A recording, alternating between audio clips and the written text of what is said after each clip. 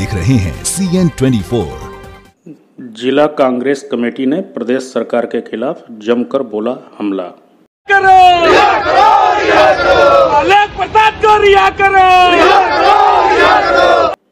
लखनऊ भाजपा कार्यालय पर आत्मदाह करने वाली महिला के मामले में कांग्रेस पार्टी के प्रदेश अध्यक्ष दलित विभाग आलोक कुमार को पुलिस ने गिरफ़्तार किया था। जिनकी रिहाई को लेकर गोरखपुर के रानी लक्ष्मीबाई पार्क और जिलाधिकारी कार्यालय पर धरना प्रदर्शन किया और सिटी मजिस्ट्रेट को एक ज्ञापन सौंपा।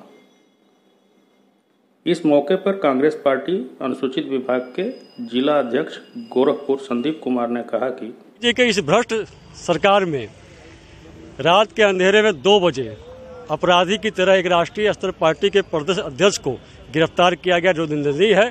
अलोकतांत्रिक है, जिसके तरीके से उन्होंने गिरफ़्तार किया। हम डीएम महोदय के माध्यम से, माही माहिम जी को राष्ट्रपति जी को हम ज्ञापन दे रहे हैं कि जल्द से जल्द उनकी रिहाई की जाए आलोक प्रसाद जी की।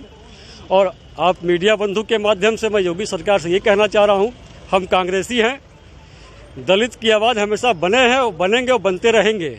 आप हमारी आवाज़ दबा नहीं सकते। हमारी आवाज़ उठाने का नतीजा, आपने हमारे प्रसाद आलोक प्रसाद जी को जेल में डाल दिया तो हम जेल जाने को भी तैयार हैं। ना रुकेंगे, ना झुकेंगे, ना डरेंगे हम, क्योंकि कांग्रेसी हैं हम। जय भीम, जय कांग्रेस।